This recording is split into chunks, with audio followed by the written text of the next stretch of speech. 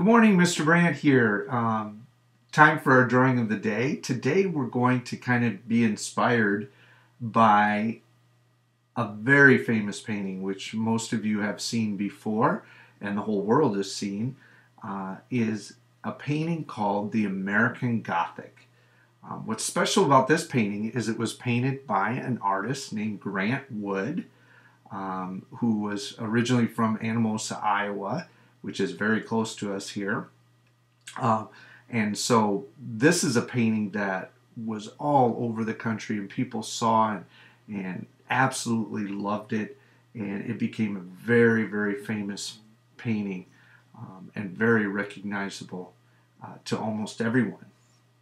And so we're going to have some fun with it today. Uh, whereas if you want to try to draw uh, the American Gothic like the real people in it, that's awesome. Um, or we can have some fun and change the heads and do something different. But I know a lot of times when people tackle this, they look at it and they say, oh, look at all those details, that's so hard to draw. And it's really not too hard. So we're going to get started today, or I'm going to try to help you with that. Um, one of the things is on my website, there is a little template that if you want to go to it uh, about what we're going to do, there's three little marks that we are going to try and draw. And that is, we're going to start our drawing with these three things, okay? If you lay these things out on your paper, uh, you're going to be in really good shape. So, we're going to start off with our paper vertical. And when you're looking at your paper, we want to draw three things. So we kind of want to say, okay, here's the middle of our paper, and I'm going to go up a little bit from the bottom, and I'm going to draw an oval, just like that. That's going to be part of his pitchfork. And then I'm going to go up a little bit to about the middle, and then I'm going to go over to the right a little bit. And that's where I'm going to draw a U shape. And that is actually going to be the collar of the guy. And then I'm going to go from here, not quite as high, and I'm going to come over and draw another U shape for the collar of the female.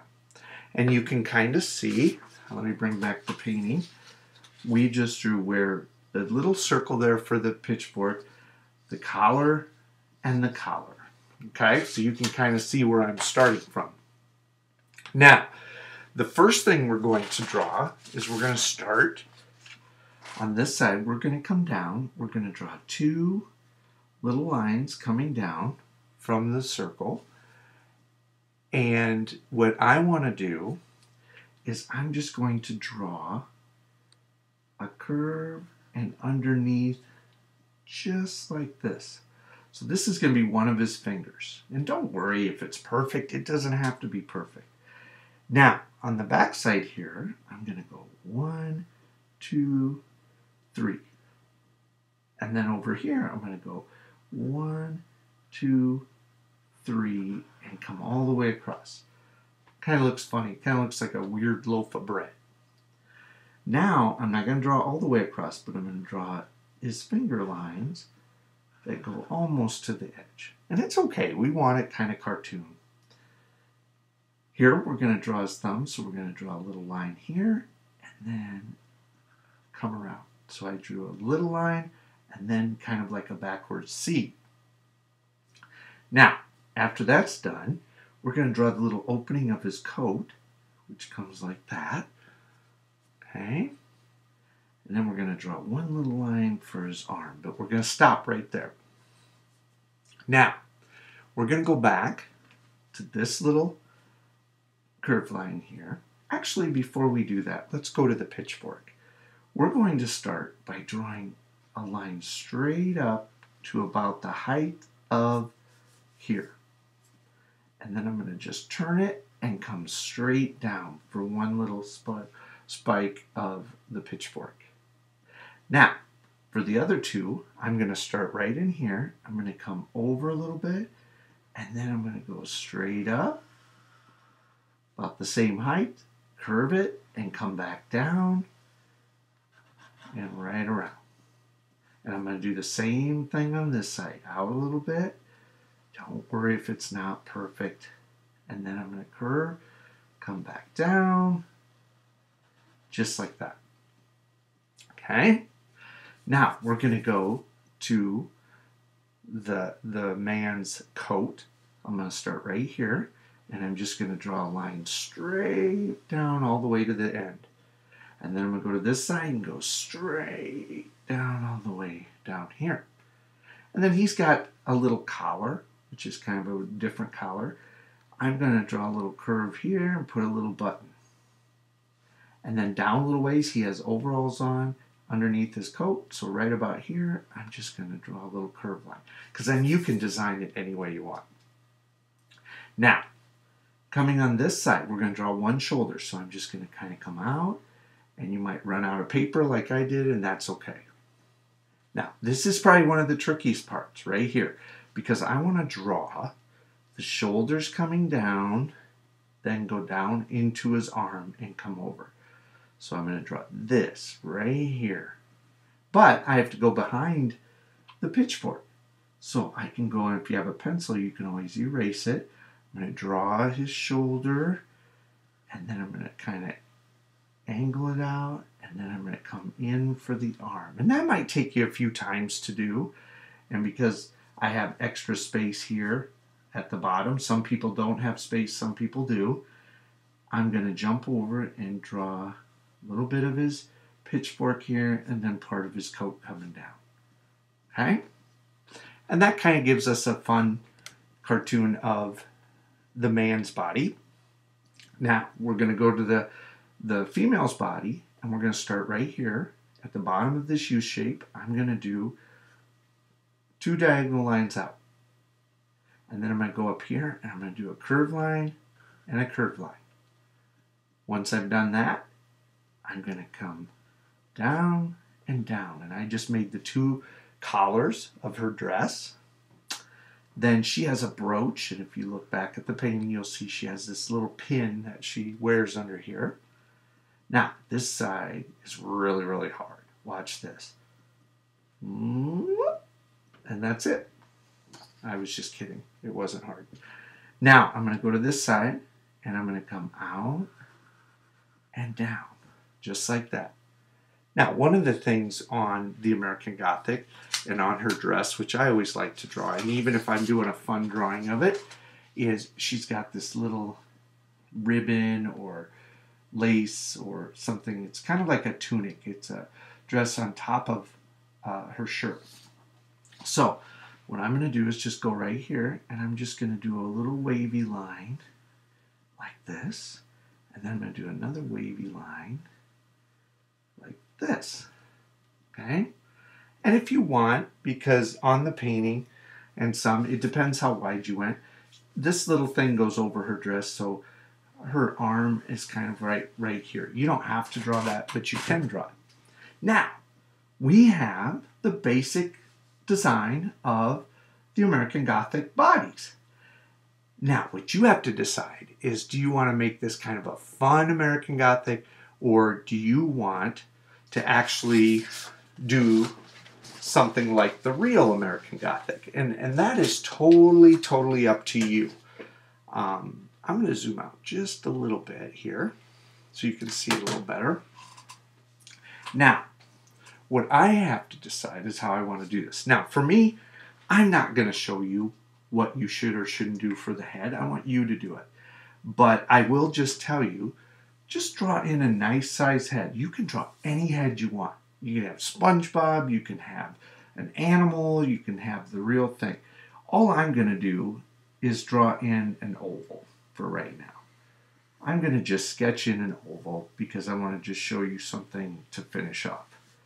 So there's my oval. Let's pretend I did some different kind of heads. Now I'm just going to draw the neck coming down to the collar depending on what head you draw.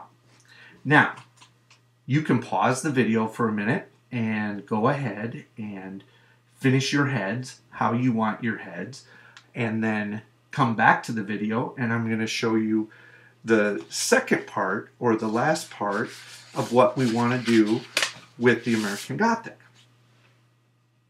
See you in a second. Okay, hopefully you're back. Once you've drawn the heads, we're going to go and draw the background for the American Gothic. And the way I always start is in between right here. I draw that Gothic style window. And basically, I start with a point. So I start a little dot and then I just come down like this and down like that. And then a line across. And then if you want to make some details with it, I go around the outside edge like this. And then I draw, if you want to look, the actual window looks something like this. There's, you go two lines and then a point.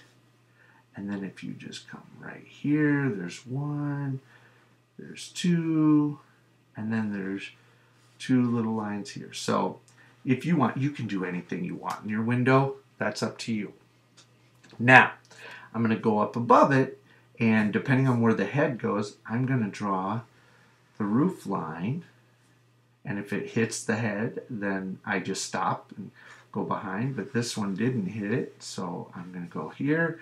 And then this one goes down and goes behind the head. Okay? Once I've done that, I'm going to go down in here and I'm going to draw the roof of the porch. And so I draw a line coming out like that and then I jump over the head and I come here just a little bit and then I angle down to the edge. Once I've done that, now I'm going to draw back here and I've got to keep jumping over those things because it's behind it and so I want that. Now I might have a little room to draw that coming down.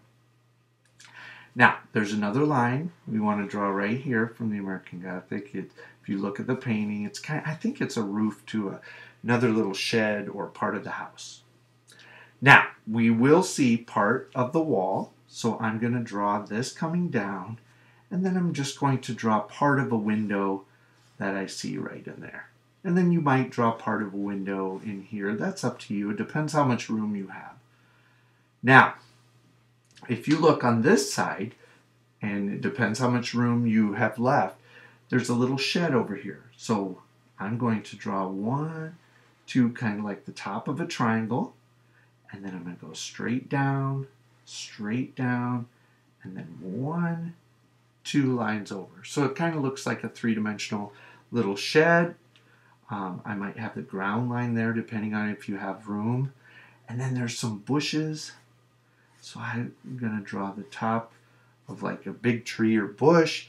Back here, there's all kinds of trees in the background. So we're just going to draw these rolling little lines coming there. And if you really look close at the American Gothic, which is really cool, you'll see that little steeple or that little um, power line or some kind of thing coming up in the back. You could draw that, and then people will say, What's that? And you can tell them it's actually in the painting. There's a little thing on the top of the house. Now, you could go in and draw some details like you can go in and draw some shingles in here and kind of add that so you know that that's the roof that's up to you if you want to draw siding coming on the house you could draw siding going sideways you could draw siding coming up and down that's up to you um, and now this is one of my favorite parts about this is once you have yours drawn, draw some cool details. And I'm going to show you one that I did a while ago. Um, this is one that I decided to do different heads. And you can see, let me just show you here, you can see that I did kind of an emoji face, I did a colorful zebra, but you can make yours up any way you want. And that's what makes this really fun um, you can just kind of create and do whatever you want on that. So I hope you enjoyed this drawing and I hope you take the time to, to create a masterpiece of the American Gothic, but your way and have some fun with it. And hopefully, you'll share some of those with me. Have an outstanding day, and remember, art is essential.